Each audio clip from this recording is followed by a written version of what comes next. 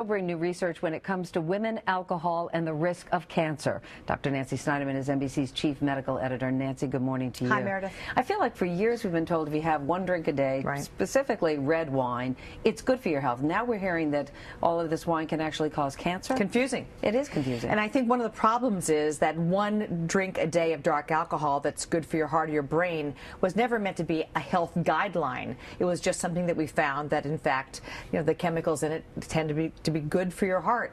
But now the study in, in Britain of over one, almost 1.3 million women showed that women who have one drink a day, whether it's a Chardonnay or a beer or a glass of scotch, it doesn't, doesn't, matter. matter. Kind of, okay. Doesn't matter. Even that innocuous glass of white wine increases the risk of breast cancer of the breast, liver, rectum, and the upper aerodigestive tract, which means everything from your mouth to your stomach.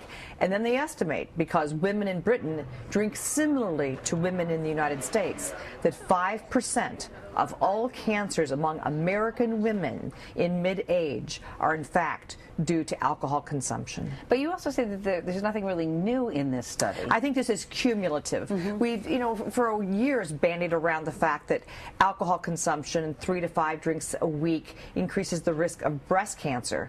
Now they're saying, you know what, there may be no safe at all.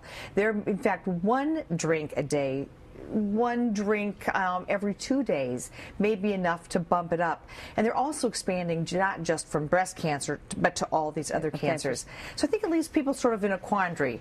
Do I worry about my heart and my brain, or do I worry about the risk of well, cancer? Well, what do you do with this information then? I think you take it with a grain of salt. The reality is men get a free pass here. Men metabolize alcohol differently than women. And there is, that seems from this in a rather definitive way, a carcinogenic effect to alcohol.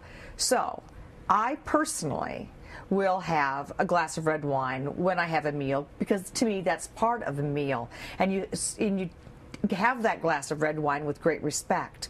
However, if I'm in fact worried about my cancer risk and I'm a middle aged woman and you really don't enjoy alcohol and you really don't need it, you might say, you know what? For me, I'm not going to take this alcohol, but perhaps I'll talk to my doctor about taking an aspirin a day to keep my arteries clear. I think you have to sort of weigh the pros and cons, but the study was well done and it is rather definitive. Is, it a greater trigger if you have a history of cancer in your family? No one has looked at that. Yeah. What they really did look at was al absolute alcohol consumption. The one sort of not so great part about this study was they didn't look at a drink a day or seven drinks on one day, but they averaged it out. And I think the reality is here, if you want to drink alcohol, know why you're drinking it, don't drink alone. Consider it part of a food group, but recognize that everything you put in your mouth has its pros and cons. Your brain may be a little better, your heart may be a little bit better, but if you, in fact you're at risk for breast cancer or any other cancer and you're midlife, you may be taking a little bit of a risk.